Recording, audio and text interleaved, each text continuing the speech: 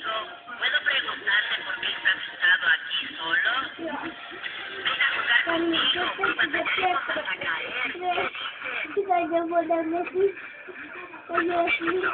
pero al final todo el mundo se aleja de mí, porque yo jugar conmigo.